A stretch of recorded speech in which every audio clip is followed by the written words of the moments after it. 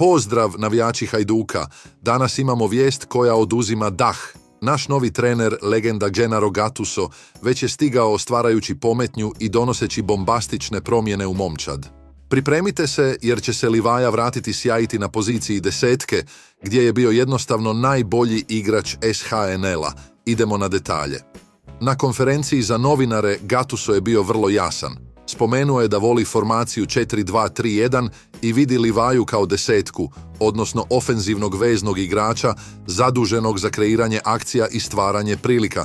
Za one koji se ne sjećaju, kada je Livaja igrao na toj poziciji u sezoni 2021-2022, postigao je impresivnih 28 golova i upisao 7 asistencija u 34 utakmice. To je prava učinkovitost. Ali čekajte, nije to sve. Gatuso i sportski direktor Nikola Kalinić su spremni ojačati naš napad. Kalinić je već najavio da traži pravog centarfora, onog klasičnog napadača koji će riješiti probleme koje smo imali prošle sezone. Livaja je morao igrati kao centarfor, a unatoč tome uspio je postići 10 golova i upisati 4 asistencije u 25 utakmica, čak i uz brojne ozljede. S novim centarforom koji dolazi, Livaja će biti slobodan koncentrirati se na svoju najbolju poziciju i ponoviti uspjeh iz prošlosti. Gatuso je također spomenuo da su prioriteti u napadu krila, i lijevo i desno.